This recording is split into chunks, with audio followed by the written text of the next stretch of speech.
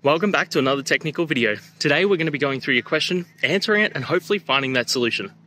Guys, remember to stay just a little bit crazy like me, and hopefully you get to that resolution. Now, let's continue on to the video.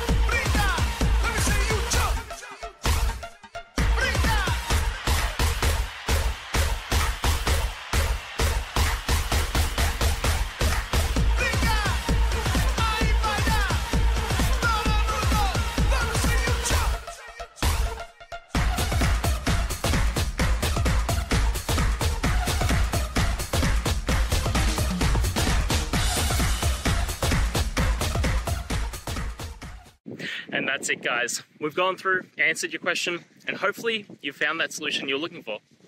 Guys, if you did, please hit subscribe. I'd really appreciate it. And until next time, you need technical help, I'll see ya. Have a good one.